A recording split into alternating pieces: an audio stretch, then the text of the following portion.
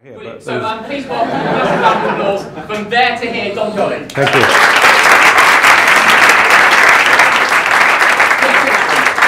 Are we sitting on these? Yeah, I am.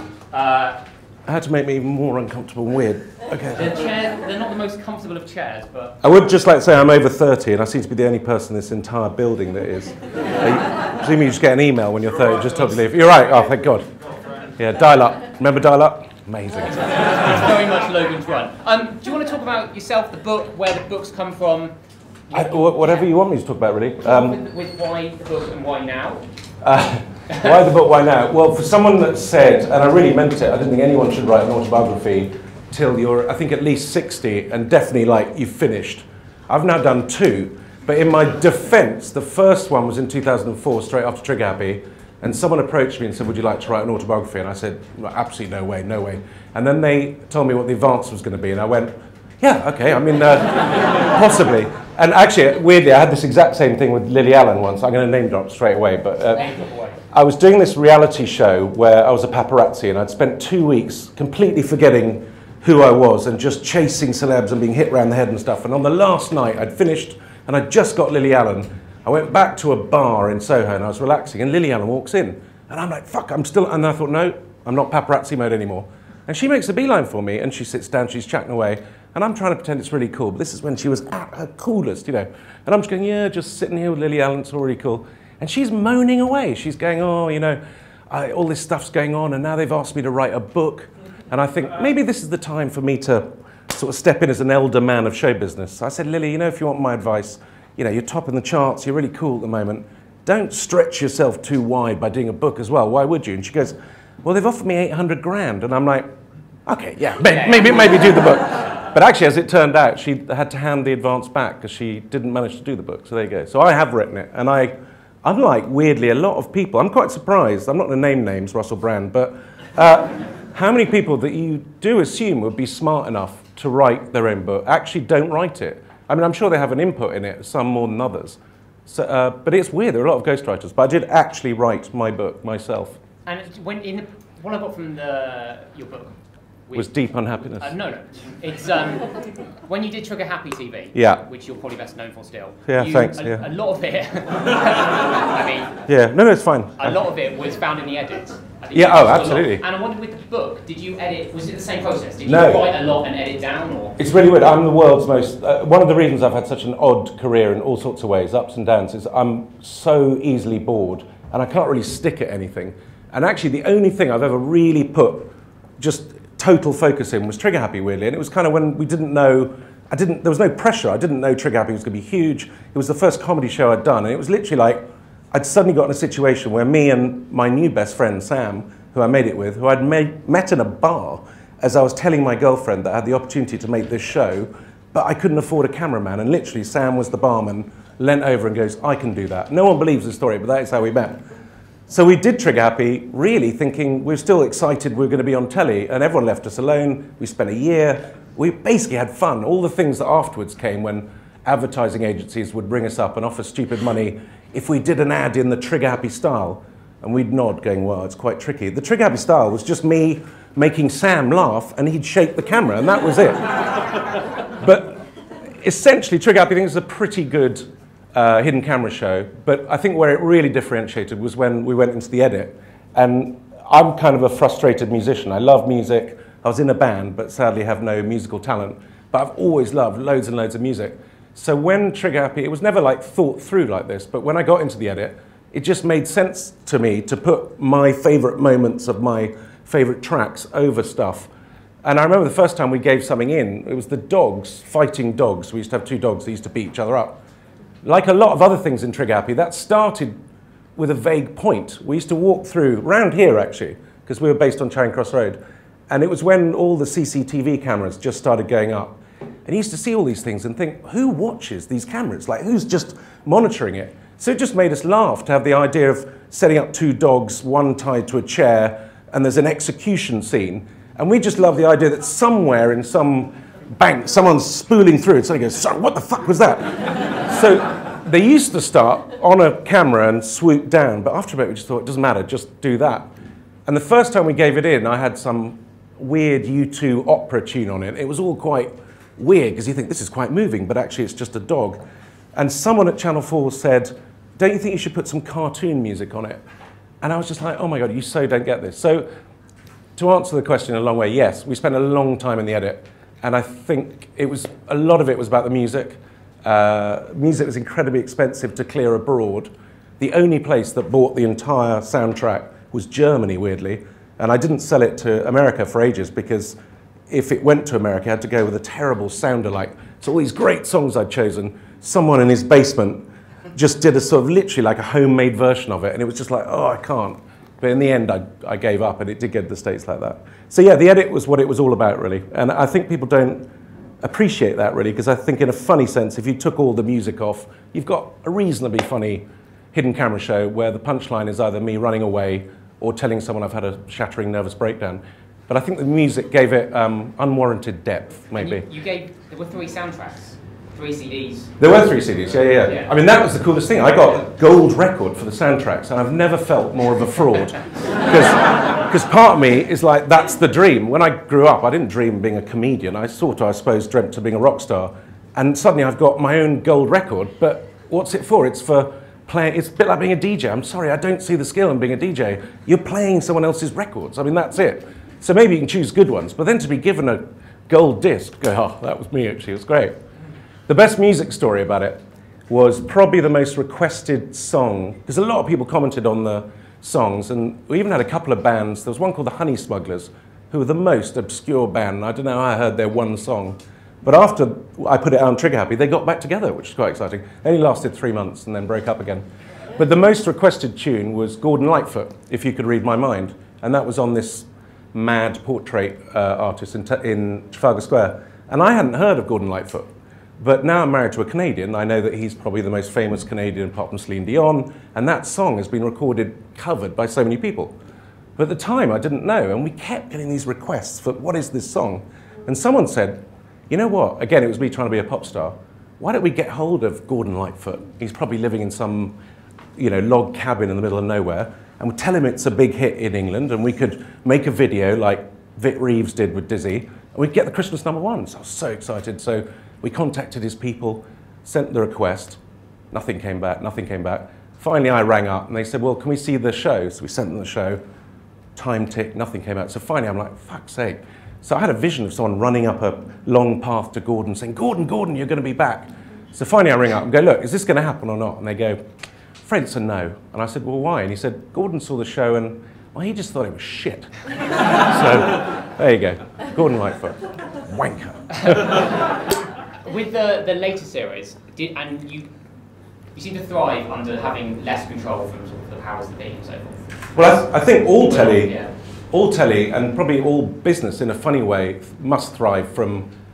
Well, it's, it's an odd thing. I think when you have a certain level of I don't know how to explain it really. I think the moment you have the odd thing to me is when Trigger Happy was unknown and it wasn't a hit at all, we were totally left on our own. And I think certainly in comedy, the one thing when people say, as they often do on Twitter, you're not funny, I'm like, well, that's a very subjective thing to say because if I find it funny, then it is funny. It's just you don't find it funny. But the one thing that definitely isn't funny is if 10 people get together and decide what's funny. You end up with the equivalent of the Eurostar interior decoration where someone just thought, you know what, yellow and grey is not gonna, it's gonna offend the least amount of people. So to me in comedy, even if you're doing something that's literally everyone's saying is awful, if you find it funny, that's all you can do. The moment you try and guess what other people find funny or listen to a committee, you're fucked. And the irony of telly is that Trigger Happy, no one knew who we were, so we totally were left alone, even to, into the edit and everything. And then the moment it was a hit, logic should tell you, well, you know, it ain't broke, you know, it broke, fix it. But of course, everyone then jumps in because they want to sort of be part of it, and it instantly goes to pot, really. Um, and when that, because it was sandwiched between, when it launched, sandwiched between Friends and Frasier on Channel 4. It was insane. It Was huge. I mean, I was still at the stage, I'd never been on telly apart from, I'd done some stuff on the Paramount Comedy Channel, uh, which was this weird channel that only played sort of imported American shows. But when I was there, it was just a really odd time. For two years, there were all these people doing little shows that we put out between the programs. They were called interstitials. And in telly, normally, you never get the opportunity to practice. You, you know, you literally, you're either a stand-up or someone else and you become well known and then your first thing you do is on telly and that's a very tricky thing. Whereas if you're a, a stand-up, you spend years honing your craft and stuff. But for some reason, we all got lucky. We were paid nothing. But at that time at Paramount Comedy Channel, which was just up the road in Rathbone Place, Sacha Baron Cohen was doing some early Borat, as it turned out then. Leigh Francis was in the art department. Uh, Little Britain were wandering around doing a weird show called Mash and Peas. Simon Pegg was doing an odd show with Edgar Wright. I mean, it was crazy. And I was looking at all these people thinking, uh, it was almost like a bit of a Saturday Night Live sort of thing, except they've all gone on to do incredibly well in comedy apart from me, and I've written this book. But uh, no, it was good. I can't remember the question, but Um, how did you cope with that level of fame? Like Very badly. Fame? Uh, very badly in all sorts of ways. And I, I think I only didn't understand why, because it's, it's not like I wanted to be famous, because I'm not interested in fame, but I definitely wanted to be successful, because it allows you to do these things you're enjoying.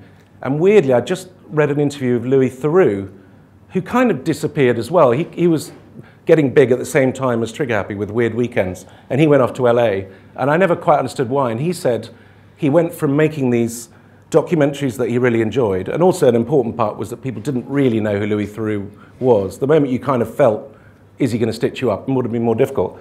And he said it suddenly went from making shows he was really interested in that people liked to suddenly being constantly told, oh, is he going to be able to do it again? Like, are you going to get the ratings? And I suppose that's just showbiz, really, but it's deeply unpleasant because then you start, A, getting worried, so you start making bad decisions, I think, and then in the end, you either go completely against it and say, fuck you, and everyone hates you, or you completely toe the line and make appalling stuff. And I think I've done both, actually. So I've done the full gamut, you know. And when you were making uh, Trigger Happy TV, Hmm. the book said you never you got arrested a fair bit, or throughout throughout you've been I've been arrested at- been beat, you've, not been beaten up. No, weirdly. I mean, think, I'm the first person to get beaten up. I have this really odd ability to sort of get people to the stage where they want to beat you up. Although, in my defense, my comedy is not Beadle.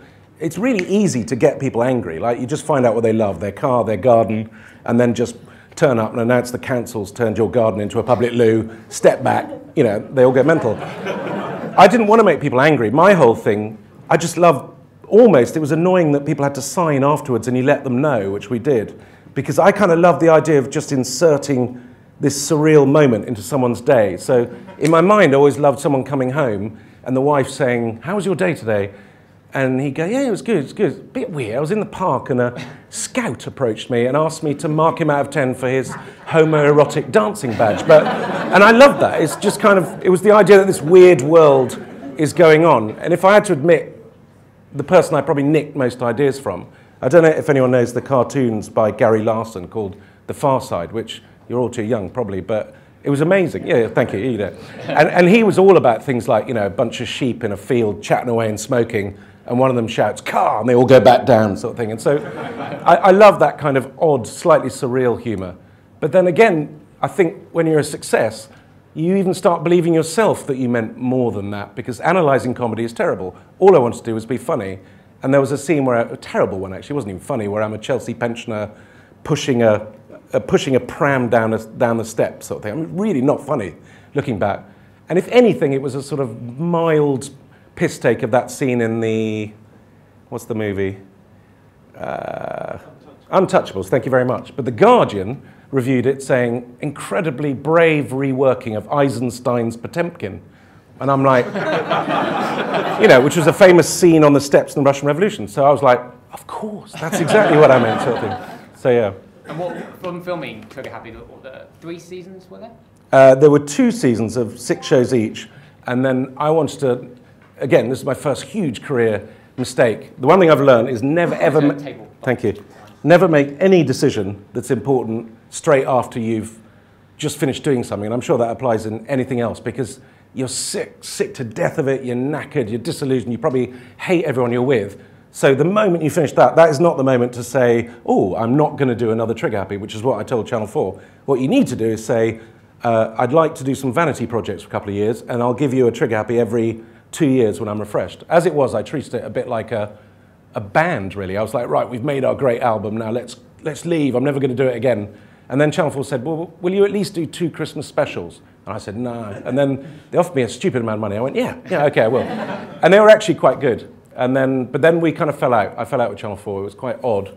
And just as I was wondering what to do, I got a call from the Pope, or Alan Yentob, as we call him, who is this weird head of the BBC, who literally pillages the, the modern art um, galleries for, to put in his. I mean, he's like a sort of warlord at the top of the BBC. And he took me to the River Cafe, and I wasn't quite sure what I was doing there. And he took a call halfway through. Sorry, Mick Jagger. And I was like, what? Who is this guy? And I slowly realized he was luring me to the BBC.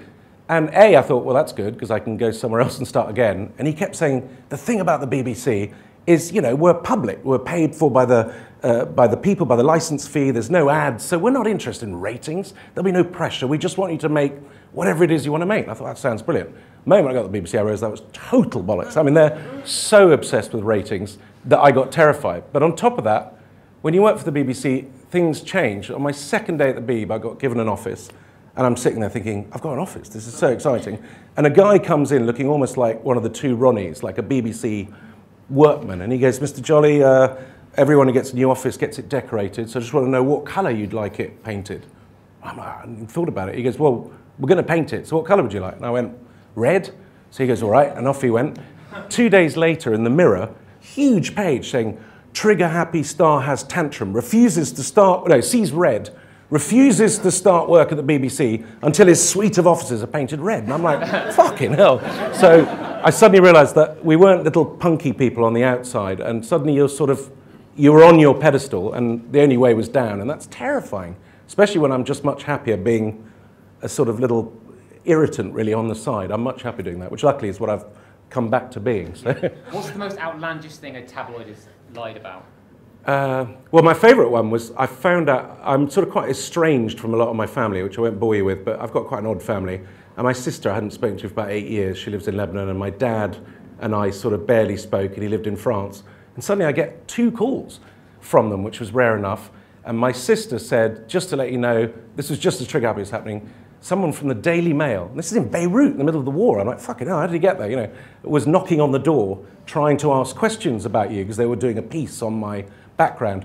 She goes, I hope just, I'm not sure if I helped you or not, but I set the dogs on them. And I was like, fucking brilliant, that's great. and then my dad, who a man who literally I'd had probably four conversations with in 10 years, all about cricket, rings me up out of the blue, very awkward conversation. And he says, and obviously he was feeling a bit guilty about our relationship. He said, a man, very nice man from the Daily Mail turned up at the door uh, asking about you. So I hope you don't mind. I let him in, and I was like, what?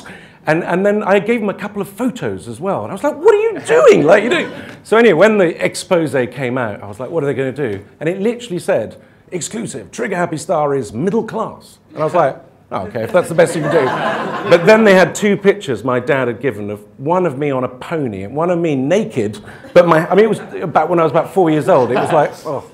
So now I've been all right with tabloids. I've kind of kept away from them, really. Yeah. And do you think that you seeking out new challenges and being an irritant, as you say, do you think that led you to be, that you've done a fair number of the I'm a Celeb and Splash and so forth? Is that the reason you chose those, or just the challenge? Well, I think there's two things. One thing the book kind of talks about is my, my life makes total sense to me, but because I've I think most people, when they're, for instance, like a hidden camera comedian, in England, hidden camera is seen really as a bit rubbish, and most of it is rubbish. It's just people shouting and it's a bit crap.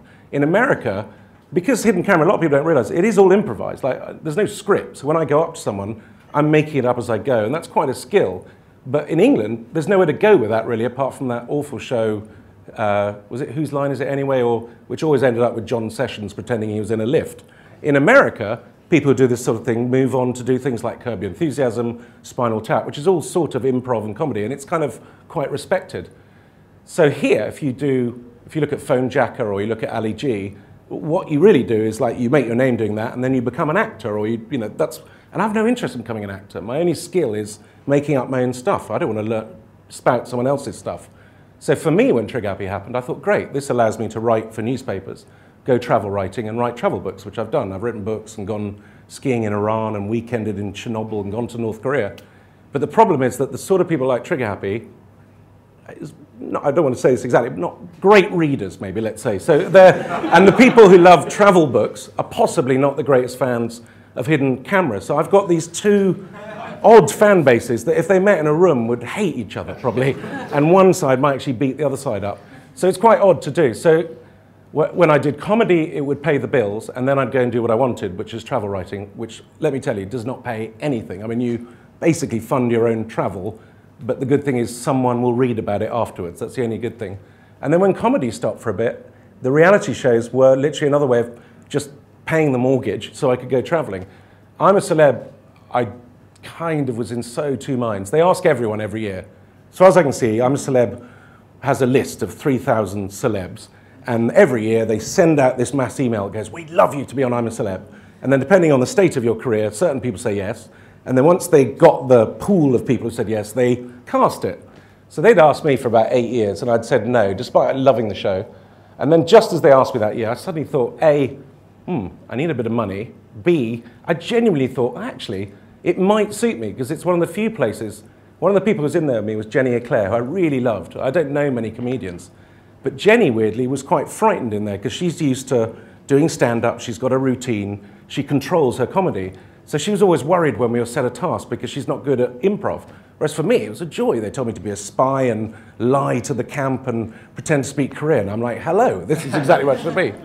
So yeah, that's why I did those shows. The only one I do regret is Splash, if I have to talk about it.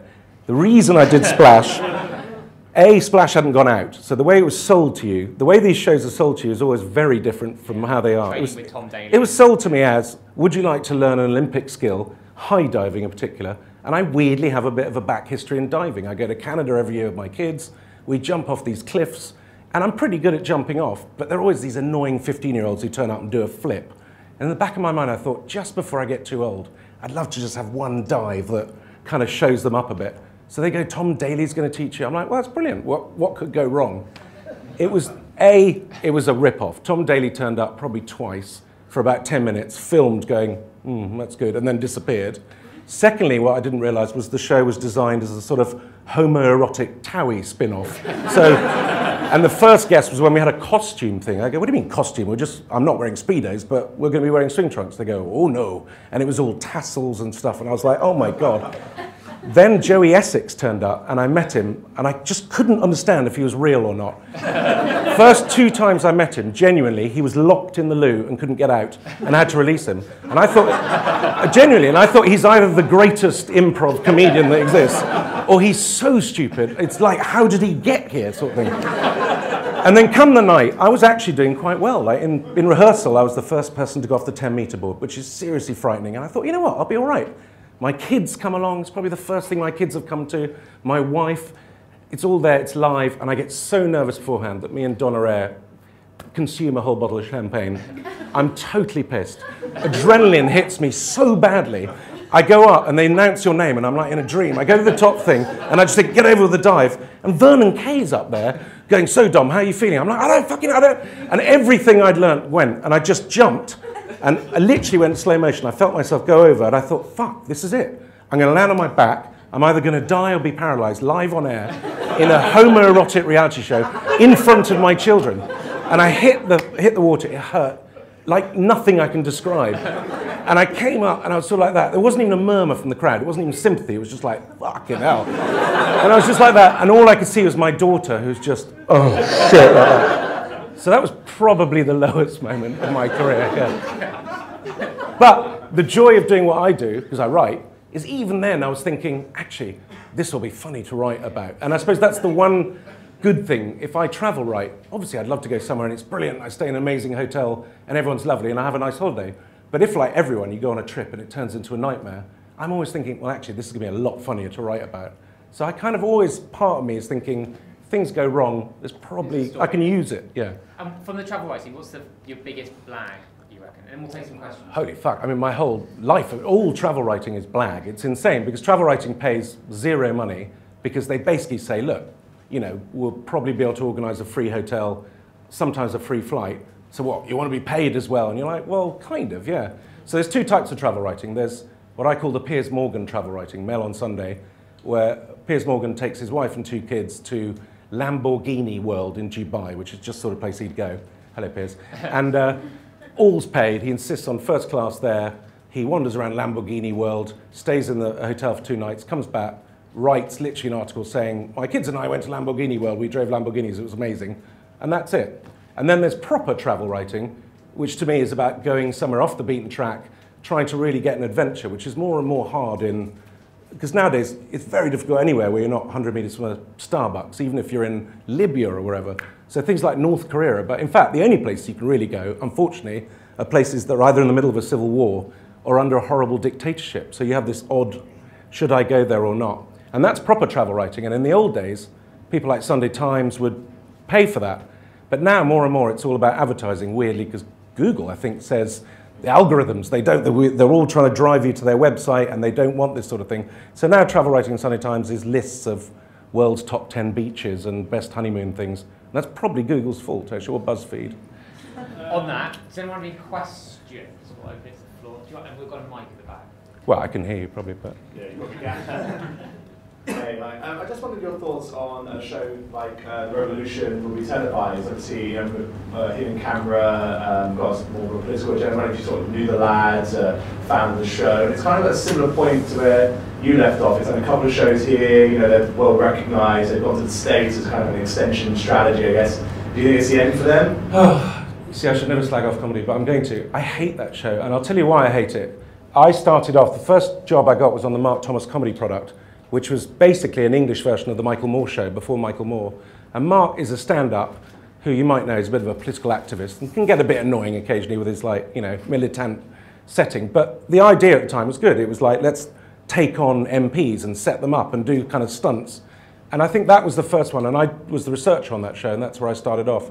And then when I was doing early stuff for Trigger Happy, I took that on and I was attacking Cool Britannia and putting fake Millennium Domes in Peter Mandelson's garden and standing as a teddy bear and stuff. And it was kind of odd, surreal activism. And when we went to Channel 4 to pitch for the show, I was actually pitching a show which was about taking on Cool Britannia, and it was kind of a bit like that show. And the commissioning editor had just finished doing Chris Morris's Brass Eye, which literally she'd been in nothing but legal battles for a year, and she just went, oh, fuck, not another one. She said, please, if you could do anything that wasn't sort of socially based. So she said, can you do something silly? And that's how Trigger Happy happened. With the revolution that must be televised, my problem with it, uh, genuinely, is that I just don't think it's that funny. And I think you either have to do something where you're being funny, and if you make a point, it's kind of as a side thing, or you have to literally be, I'm a hardcore whatever. And I think they're not that political, but they're not that funny. And so they end up kind of just you know, shoving microphones in their face. But on the other hand, maybe I'm just old and I don't know comedy anymore. I don't know. I love the name of the show. And I kind of think, yeah, you're exactly what I was, an annoying little posh bloke uh, 20 years ago. So probably that's why I don't like it, because they're on telly and I'm not. And they won a BAFTA. So did Fonejacker. I didn't win a BAFTA. So yeah, that's why. But good luck to them. And, and the other thing you do, sorry, when they go to America, what I've realized again is the classic way all shows go. You do two shows, your second show is probably a bit more successful, and then the third show, it's called the On the Buses Spanish holiday thing. You suddenly think, fuck, we can get people to come. So I started seeing if I could get madness. To, you get cameos, and then once you've got all the cameos of the people you want, so Ricky Gervais did it well with extras, you then think, where can we go on holiday? We should go to do an American show. And they very rarely work when you go abroad. So I didn't answer anything there, but there you go. No, no, no, it's good to hear yeah. I'm really sorry if you are watching this. I hate slagging off other comedians. I'm not slagging them off, it's just whatever. Have you seen much of YouTube videos? Because prank videos are quite big on YouTube, and I wonder if you've seen them or what Trigger Happy would have been like. Well, two things weirdly. Trigger Happy happened literally, the reason Trigger Happy happened was because it was just at that year where cameras became available in the shops. I think they were called three chip cameras, which now, when you look at the quality, is awful. But it was the first time that for a grand, you could buy a camera which you could use, which was at the time considered good enough to go on telly. A year before that, if you wanted to film anything, you had to hire a proper cameraman, proper soundman. Nothing wrong with that, but they cost money, so it meant you only had a limited amount of time.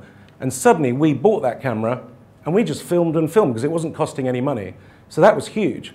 But if YouTube had existed then, and it came probably five years afterwards, I wouldn't have bothered going to TV channels. Why would I go to a TV channel and say, you know, can I give you 90% of my earnings to put it out? I would have set up a YouTube channel, and if it worked well enough, worked out some sort of deal. I don't know how you pay them, but there you go.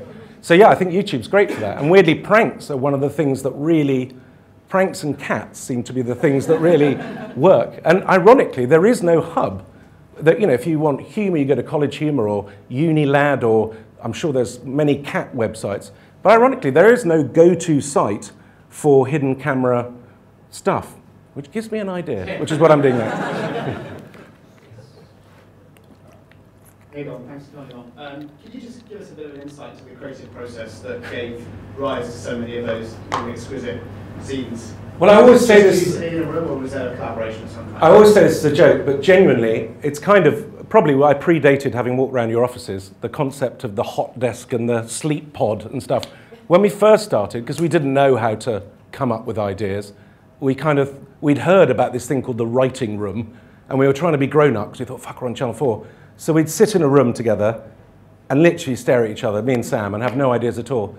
And then we realized the best way to have ideas, especially for Trigger Happy, because it was about stuff, was just to go and do things. So I think we blagged, I think, yeah, Sam and I went Euro, we went interrailing, which is crazy. We got Channel 4 to pay for us to go on a two week railway journey around Europe. And I think I got two ideas from that. We went up to, we went up to Scotland to play golf, didn't get any ideas from that but we got arrested because on the way down we couldn't resist. It, it was, it's a horrible joke, and it's not, I'm not proud of it. But we went through this tiny little town, and there was this sign outside this building, and it said West Highlands Dyslexic Association, and it was so weird, and it was like the only thing in this village.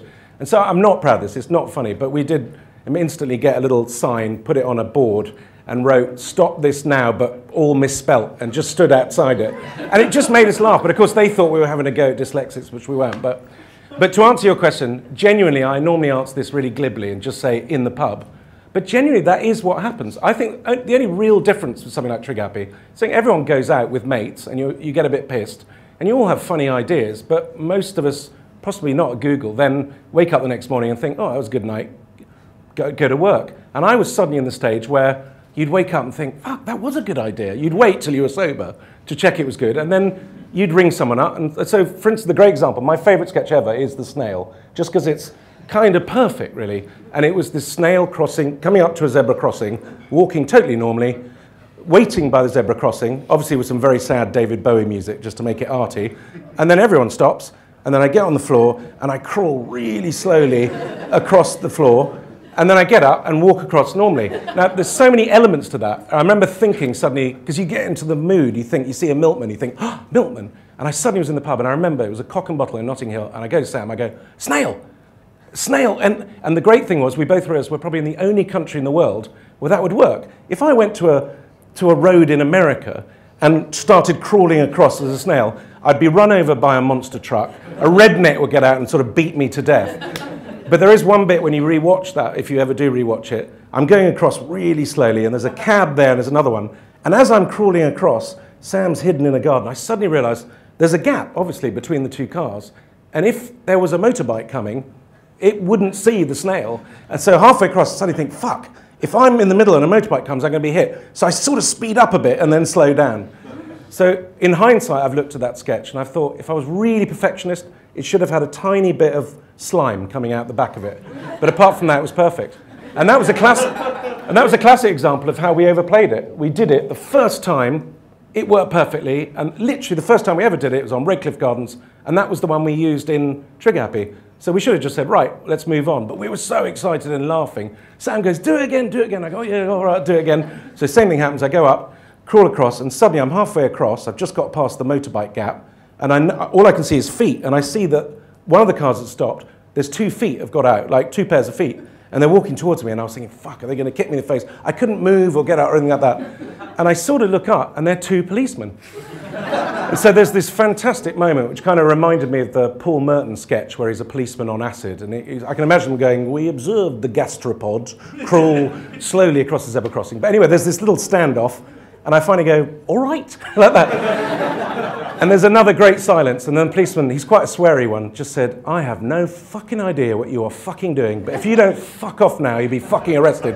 So I stand up and I sprint off going, sorry about that. And we couldn't show it because we didn't have the policeman's uh, uh, consent. But that's probably my favourite off clip, off out clip sort of thing. But basically the pub, yeah.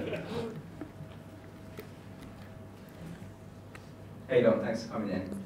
Um, as a cricket fan, I had the pleasure of listening to your interview on TMS uh, the other day. Test match special, none of you know that. That's So the yeah, highlight of my I'm entire life. fans of the- I've just had Desert Island Disc said no for the third time. This time, quite specifically, I'm afraid he's not of our calibre. You're like, yeah, fair enough, I'm not ready. But Test Match Special I was on. Does anyone know what that is? 40 minutes with Aggers. It's like the lunchtime in the middle of a Test match. It's if you're a middle, if you're a middle class Englishman, you've made it basically. Like my dad died before. That would be the first thing I've ever done. That my dad would go, oh, that's good, yeah. So I enjoyed that. Uh, so my question is, um, if, if you're offered to trade your whole career as has happened or maybe as the Cooks, or you said you were a bit of a bowler to Andrew Flintoffs. I'm more a batsman, I think, but yeah, yeah. Would you take it? So basically, the career I've had, or international. Or international. Alastair Cook? It depends, isn't it? Because he might completely fuck up.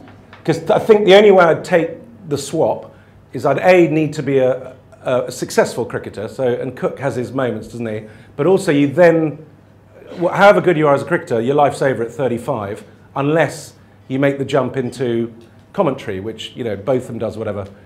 And I think Cook is too boring to do that. I don't think he would do that. So I'd have to be someone that made the jump and. KP? Oh, see, KP. See, sorry, this is a cricket thing, which I'll quick thing. KP is this Kevin Pietersen, who's, apart from being South African, which is a big problem playing for England, is probably our greatest player, but he's been such a wanker that essentially the rest of the team don't want him in. And I think it doesn't matter. If he's good, he should be in. But the problem is, Piers Morgan has literally launched a one man internet campaign demanding that he should go back in. And I'm so annoyed by Piers Morgan that I don't want KP in the team. So I think he's probably doing it. But yeah, I wouldn't mind being KP. Quite good. Yeah. The answer is yes. Uh, yeah, I'd like to do both. Is that possible? I'd like to open the batting and then go and do the squirrel stuff. Yeah. Maybe the England team mascot. That's what I could be. I don't think it's going to happen anyway. It's too late. Hey Dom, thanks very much. This has been really fun. Um, Thank you. Quick question from Trigger Happy Days. Was there anything that was cut by Channel 4 that you thought was brilliant um, that you can talk us through? See, that's really funny. They didn't actually have power of edit. I had power of uh, Final Cut, but you couldn't be a complete wanker. Like, you, you basically, we spent all the time in the edit, you got the show, and then the commissioners would come in. And even if it was the most perfect program ever, which it never was, they, they wouldn't have a job if they didn't sort of say something. So our plan, our cunning plan, which we thought was really cool, was we'd always put in, we'd make the show beautiful and great, and then we'd always put in something really shit that we hated. And like it just stuck out. And the idea was they'll come in and they'll say, well, love it, but apart from that, and we'd sort of go, oh, really? You don't like it? And then look like we're really accessible. Okay, take it out. And I swear, we did it three times, and two of the three times, that was the bit they liked best. And, it, and, and they literally got angry when we took it out, so we kind of gave that up. So they never cut anything out, but there were a couple of things we did which Fergie, two weirdest celebs ever did. Fergie, Princess Fergie, whatever her fucking name is. We were at, I was at some weird drinks party somewhere, and I was trying to get people as this celeb interviewer, and I didn't know Fergie was going to be there. And I suddenly see Fergie walking towards me, and Sam's there with his tiny camera, and I'm holding a microphone.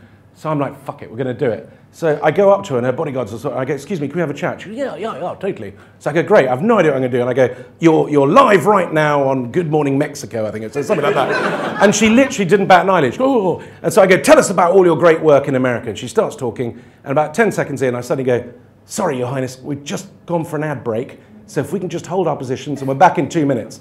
And she went for it. And I said, Can no one move at all? We need to be in exactly the same position when we come back. So for two minutes, in the middle of this drinks party, Fergie is just standing like this. and I'm like, This is fucking the best thing I've ever done. And then I go, And we are live again. Sorry, you were saying. And then she starts talking again. I go, Sorry, they've lost interest. They've gone. And then she goes, What? And we went outside. And I just said to Sam, Get in a cab now. We've fucking got to put this out. And if the internet had been around, you know, I'd have just uploaded that immediately. But I swear, I don't know how they found out, but by the time we got back to Charing Cross Road, from it was in Sloane Square, it was about 40 minutes.